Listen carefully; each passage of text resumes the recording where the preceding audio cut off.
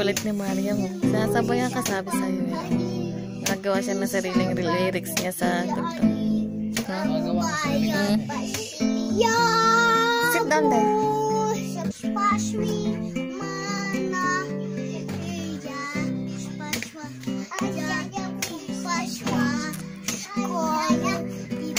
Punta daw siya sa school. Gumagawa ng lyrics ang anak ko. Sariling sinasabay kay kuya.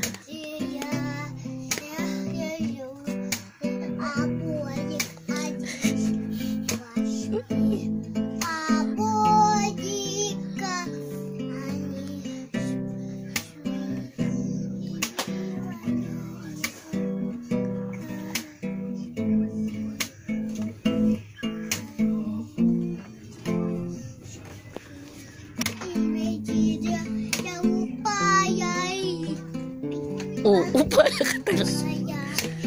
Amo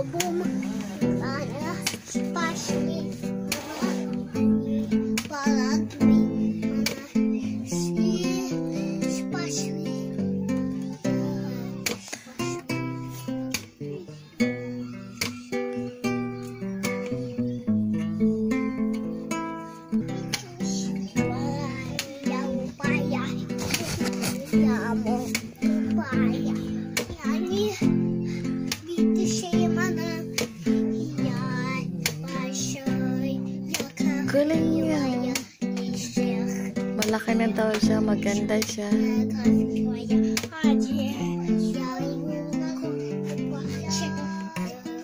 Yan po ang aking mga anak. Isang pure Filipino at mga mixed Russian and Pinay. Yung anak ko nagigitara, si Mariam naman gumagawa ng sarili niyang ano yan, lyrics? Sariling kanta, oh. Sinasabay niya kay kuya niya. Ang galing naman talaga.